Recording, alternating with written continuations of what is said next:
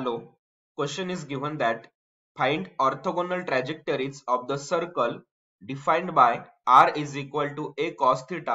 which all pass through the origin and their centers on the initial line. Okay okay, तो इस example में हमें orthogonal trajectories find out करना है circle का एक इक्वेशंस गिवन है r is equal to a cos theta उसमें से ये हमारा कांस्टेंट होगा r एंड थीटा हमारे कोऑर्डिनेट्स होंगे ओके okay, जो वेरिएबल्स होंगे और this is the polar coordinates और उसका हमें ऑर्थोगोनल ट्राजेक्टरीज फाइंड आउट करना है। सो पोलर कोऑर्डिनेट्स के ऑर्थोगोनल ट्राजेक्टरीज फाइंड आउट करने के लिए सबसे पहले हमें जो इक्वेशंस गिवन है, उसे हम एज इट इज़ राइट करेंगे। So given R is equal to A cos theta अब उसके बाद सेकेंड स्टेप में हम इस इक्वेशन को डिफरेंशिएट करेंगे with respect to theta and जो कांस्टेंट है कांस्टेंट हमारा ए उसे हम यहाँ पे एलिमिनेट करेंगे। So differentiate with respect to theta L H S में आर टर्म्स है, उसका हम डेरिवेटिव राइट करेंगे। So, which is dr upon d theta. That means हमने इसको डिफरेंशिएट किया with respect to theta is equal to A constant है। So constant as it is write करेंगे। And cos theta cos theta का derivative होता है minus sin theta minus sin theta तो second step में हमने इसका डिफरेंशिएट लिया है। अब हमें कॉन्स्टेंट को इलिमिनेट करना है। डेरिवेटिव राइट करने के बाद हमारा कांस्टेंट इलिमिनेट नहीं हुआ है। तो हमारे पास जो ओरिजिनल इक्वेशन से यहाँ पे r is equal to A cos theta इसका यूज़ करके हम ए की वैल्यू यहाँ से फाइंड आउट करेंगे। आर एच एस में देखा जाएगा तो यहाँ पे वैल्यू है A into cos theta so R H S का मल्टीपल कॉस थीटा अगर हम एल एच एस में ट्रांसफ़र करेंगे एल एच एस में पहले से टर्म्स है आर और ये मल्टीपल कॉस थीटा ट्रांसफ़र करेंगे तो बन जाएगा डिवाइड कॉस थीटा सो यहाँ से हम ए की वैल्यू राइट करेंगे आर अपॉन कॉस थीटा उस ए की वैल्यू अगर हम इस इक्वेशन में अगर पुट करेंगे तो हमें इक्वेशन मिल जाएगा R upon D theta is equal to यहाँ पे हमने ए की वैल्यू पुट की है R upon cos theta into हमारा ब्रैकेट में minus theta as it is वहाँ पे रह जाएगा।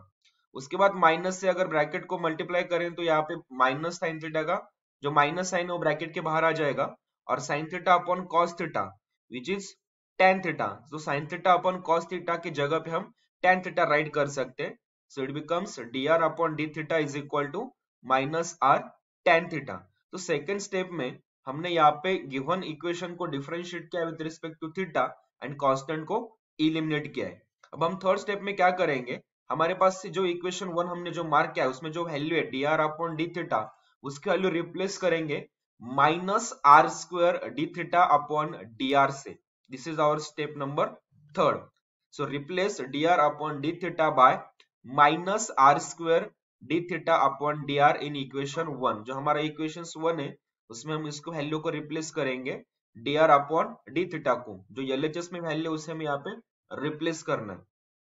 तो हमने यहाँ पे वैल्यू रिप्लेस किया है it becomes minus R square D theta upon D R is equal to minus R tan theta अब बोथ साइड में जो माइनस माइनस है, वो कैंसिल हो जाएगा, और हमारे पास इसका इक्वेशन मिल जाएगा which is implies that R square d theta upon dr, which is equal to r into tan theta. अब दोनों साइड में आर आर के टर्म्स है, ये स्क्वायर का टर्म्स और जो आर के टर्म्स है, वो यहाँ पे कैंसिल हो जाएगा, और रिमेनिंग टर्म्स हमारे पास यहाँ पे मिल जाएगी। R into D theta upon D R is equal to tan theta अब हमें यहाँ पे वेरिएबल सेपरेबल फॉर्म इसका फाइंड आउट करना है स्टेप नंबर फोर में एंड इसका सोल्यूशन फाइंड आउट करना है। अब हमें यहाँ पे वेरिएबल सेपरेट करना है। किस प्रकार से हम यहाँ पे वेरिएबल सेपरेट कर सकते हैं? जो एलएचएस में डिवाइड बाई डी आर है, उसे हम आर में ट्रांसफ़र करेंगे तो इट बिकम्स एल में R d theta as it is रह जाएगा is equal to tan theta into L में जो डिवाइड डी आर था आर में जाने के बाद मल्टीपल डी आर होगा। अब उसके बाद हम क्या करेंगे? आरएचएस में जो मल्टीपल टेन थीटा है, उसमें हम एल एच एस में ट्रांसफ़र करेंगे, वो डिवाइड हो जाएगा। और एल एच एस में जो मल्टीपल आर है उसे हम आर में ट्रांसफ़र करेंगे तो डिवाइड हो जाएगा। So it becomes d theta upon tan theta is equal to d r upon r so this is our variable separable form तो हमने यहाँ पे जो वेरिएबल्स थे थीटा एंड आर उसे हमने सेपरेट किया है। उसके बाद हम इसका सोल्यूशन फाइंड आउट करेंगे। सोल्यूशन फाइंड आउट करने के लिए हमें इसका इंटीग्रेशन लेना होगा। So integrating it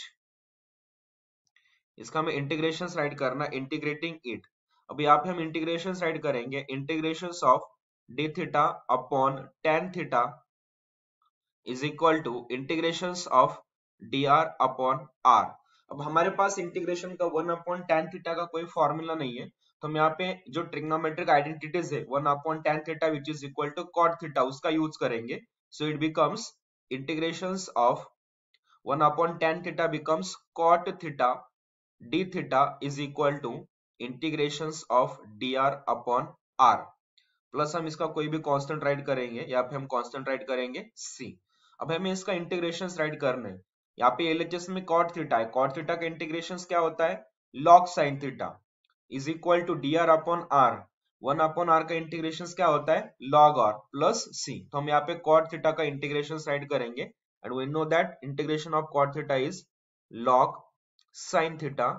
which is equal to equal to terms थे हमें integration of one upon r and the integration of one upon r which is log r